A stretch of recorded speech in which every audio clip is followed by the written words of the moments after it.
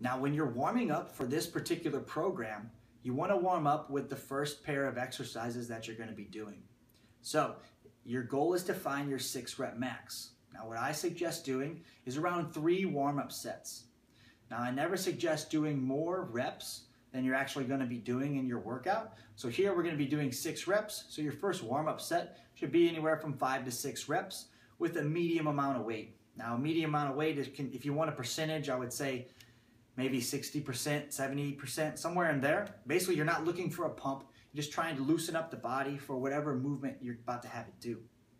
So you'll do one warm-up set, five to six reps, take a short break, maybe one minute, two minute. Then you're gonna perform a, another warm-up set, but what you're gonna do is increase the weight you're working with, but decrease the amount of reps. So let's say our goal was to use 100 pounds for our first set. So our warm-up sets would go like this. 60 pounds, we'll do six reps, take a short break. Set two, we go from 60 pounds, we go up to probably 80 or 85 pounds. And instead of doing six reps, we probably do anywhere from three to four reps. Now, as you're performing those three to four reps or those six reps, you're basically trying to feel out how hard it is and try to project how hard it's going to be for six reps. So as you're doing that 80 pound warm up for three or four reps, you're thinking in your head, okay, how hard was that? You know, okay, I know I could have pumped out 10 of those. That's definitely too light. So then you do one last warm up set. You go from 80 maybe up to 90 pounds, 95 pounds, somewhere in there, and just do one or two reps.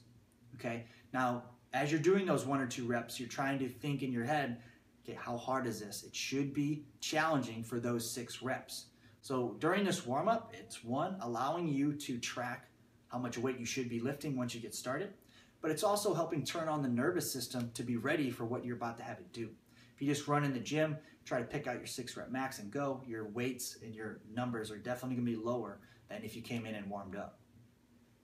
Now, once you already know how much weight you need to use, because you already have week one written down, what you're gonna do is look at week one's numbers.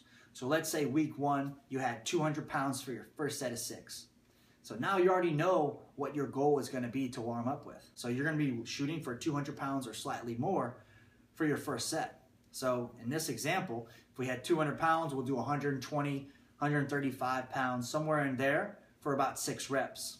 And then again, go up in weight again in this example to probably around uh, 160, 165 pounds somewhere in there, and you're going to perform three to four reps. And again, as you're performing these reps, you're trying to project how hard it's going to be for six reps. So let's say you did the 165 on a bench press and you did four reps and you're like, yeah, you know, that was pretty easy. I know I could have got two more reps and then some. So you know you should go up in weight. So you do one last warm up set, one to two reps, and you go up from 165 to let's say 190 or 185 you just perform one or two, and you're really confident that you can get 200 or maybe 205 for six, and that would be a great place to start.